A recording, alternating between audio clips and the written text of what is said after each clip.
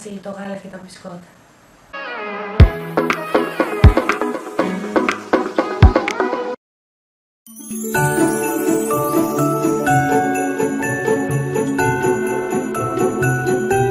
Για πείτε μου, υπάρχει πιο ωραία νύχτα από τις 24 Φεβρουαρίου που περιμένουμε να ξημερώσουν οι Χριστούγεννα; Εγώ νομίζω πως όχι, πως είναι η πιο μαγική νύχτα και γι' αυτό σήμερα θα μοιραστούμε μαζί σας τα έθιμα τα δικά μας για αυτό το βράδυ. Πρώτα μαζεύουμε φυσικά όλα μας τα παιχνίδια για να ετοιμαστούμε να πάμε να κάνουμε μπάνιο.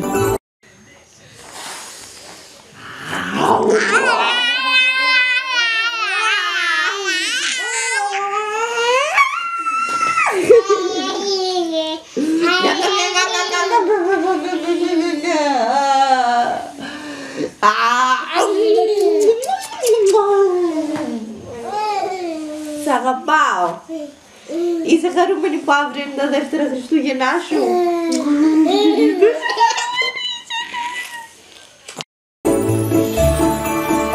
Φυσικά πρέπει να είμαστε καθαρές και φρεσκοβουλημένες για να πάμε αύριο στην εκκλησία.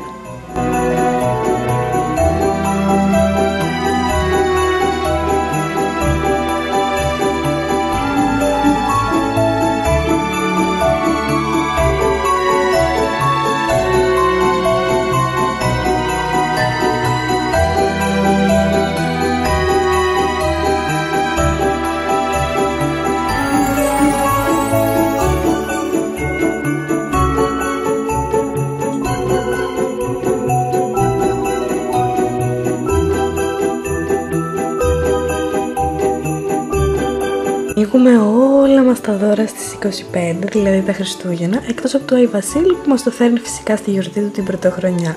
Όμως έχουμε ένα έθιμο να ανοίγουμε μόνο ένα δώρο την παραμονή των Χριστουγέννων, δηλαδή στις 24.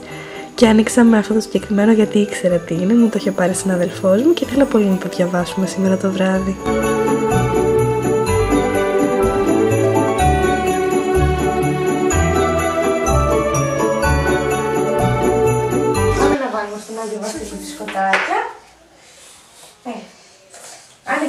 Άνοιξε το ντουλάπι.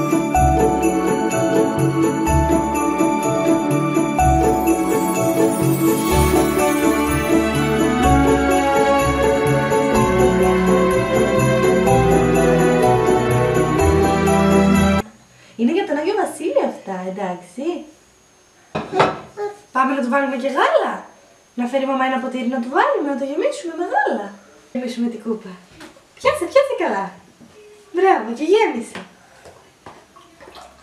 Μπράβο, λίγα. Μουα. Γεμίσαμε την κούπα. Θα τα βάλουμε τώρα στο δέντρο. Πάλι. Είσαι χαρούμενη, θα το φτιάχνεις Βασίλη. Πώς λέει ο ένας Βασίλης; Ho, ho, ho. Merry Christmas. Έλα να βάλουμε στον Άι Βασίλη το γάλα και τα μπισκότα. Μπράβο. Το γάλα και τα μπισκότα, ναι. Να. Και τα μπισκοτάκια. Θα τα φάει ο Βασίλης τώρα. Ναι. Και θα μας αφήσει το δώρο σου, εντάξει. Ναι. Και αφήνουμε ένα μικρό σνακ για τον Άγιο Βασίλη όταν έρθει να ξεκουραστεί λίγο στο σπίτι μας και να συνεχίσει μετά τη διαδρομή του. Αφήνω τη Λιδούλη λίγο να επεξεργαστεί το καινούργιο της βιβλίο όσο βάζω πιζάμες και μετά θα το διαβάσουμε. Νομίζω είναι το πιο γλυκό και όμορφο βιβλίο που μας, που μας έχουν κάνει δώρο μέχρι τώρα. Αυτός τι είναι; Ένας άγγελος που κατέβηκε στη γη της Μαρίας στην αυλή. Αυτός είναι ο Ιωσήφ είπαμε. Εδώ τι λέει ο άγγελος. Μη φοβάσαι Μαρία. Σου φέρνω καλά νέα. Ο Θεός, αυτός ο άγγελος, μπράβο Λίδα.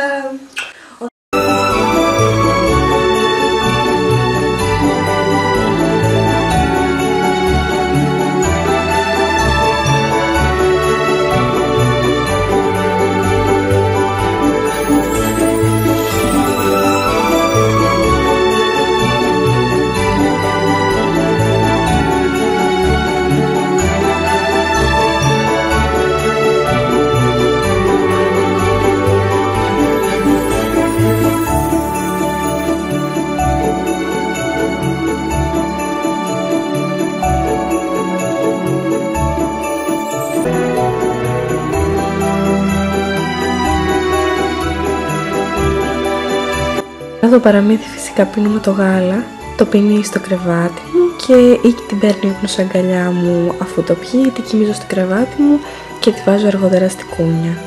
Αν και τις γιορτινές μέρες γενικά προτιμώ να κοιμόμαστε μαζί, μου αρέσει πάρα πολύ.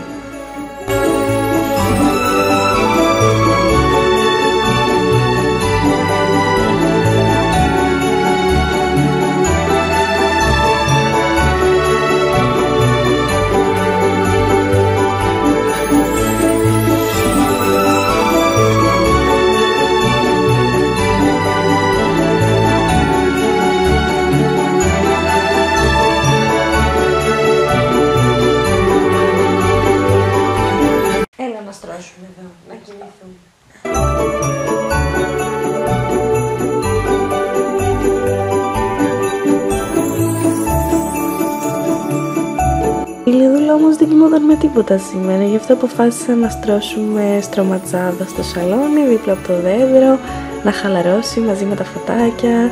Ήταν πάρα πολύ όμορφη εμπειρία, σκέφτομαι να την εφαρμόσουμε σαν έθιμο πια.